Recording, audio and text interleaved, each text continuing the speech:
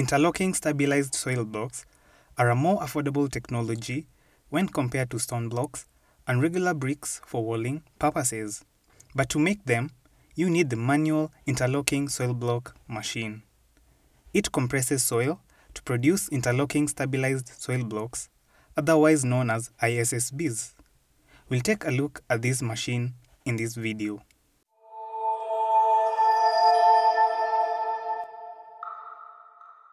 Hi, I'm Nick Muema from Property Noma. So, why should you care about the interlocking soil block machine? The answer lies in the affordable housing idea. Soil is readily available, especially in rural areas. That's why soil is used as one of the main materials to make cheap rural houses. But such houses require lots of maintenance and protection. On the other hand, when soil is used to make regular bricks, a lot of energy is needed to make them. That means you have to cut down branches or trees to get firewood, which is then used to bake the bricks. As you can see, this traditional and common way of making bricks is damaging to the environment. It's also expensive when you factor in the cost of firewood and mortar when building a house. These shortcomings of regular bricks gave birth to interlocking soil blocks. They don't need to be baked in a kiln because they are cured using the sun's heat. They also don't need mortar because of the interlocking grooves that these blocks have. They simply connect side by side and on top of each other without using mortar. This makes interlocking soil blocks a fantastic fit for affordable housing. Now, if you're going to invest in this machine, you need to know how it works. Once you add and properly mix a stabilizer, such as cement, and water into the soil, it's time for it to be compressed. Let's look at two design features of the manual interlocking soil block machine. The first design feature is the loading compartment.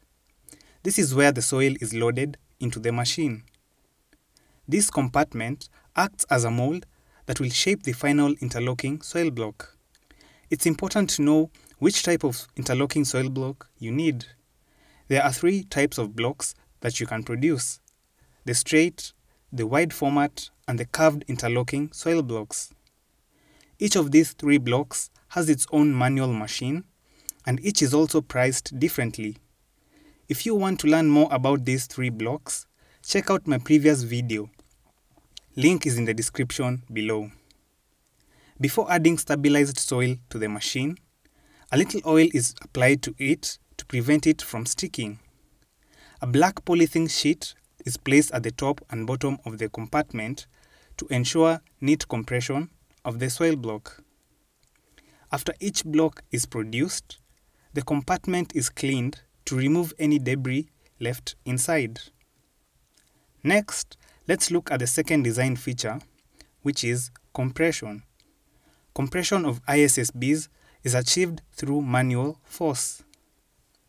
Using the lever provided with the machine, a worker presses down on the soil using his muscle power. Wood beams are attached at the bottom of the machine where two workers stand on opposite ends. When one presses down the lever, the worker standing on the other side provides a counterweight that prevents the machine from tipping over. Typically, you'll need four workers to efficiently produce interlocking soil blocks. One mixes the soil and loads it into a wheelbarrow. The second one loads the soil from the wheelbarrow into the machine. The third worker compresses the soil. And the fourth one provides counterweight during compression.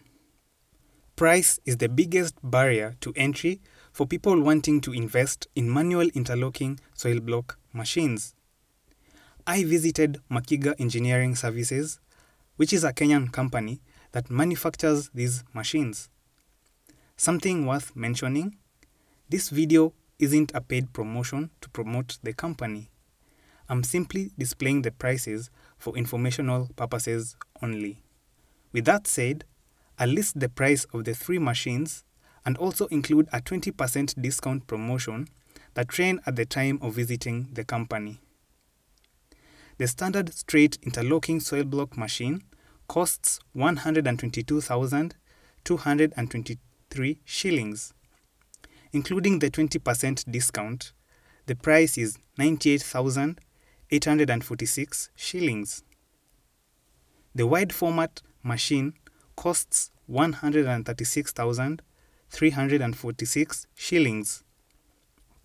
With a 20% discount, the price becomes 109,077 shillings.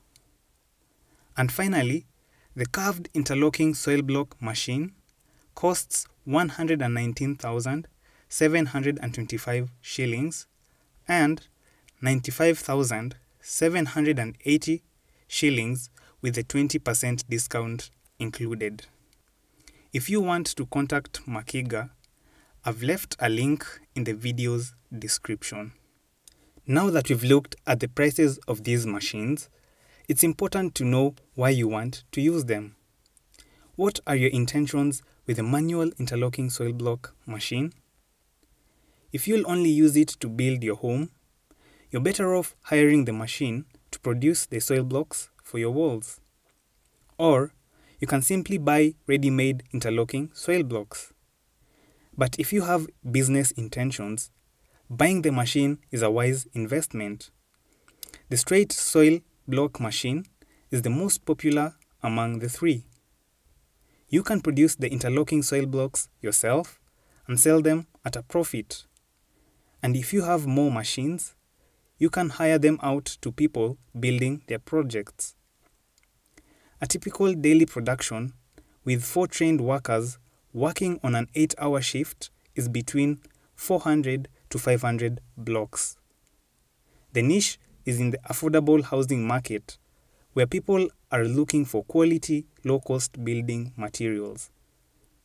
Another use case of interlocking soil blocks is building low cost schooling projects in remote or low income areas.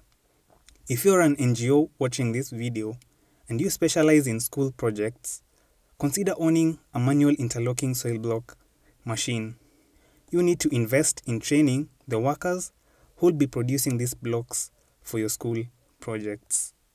So that's all I have on the manual interlocking soil block machine.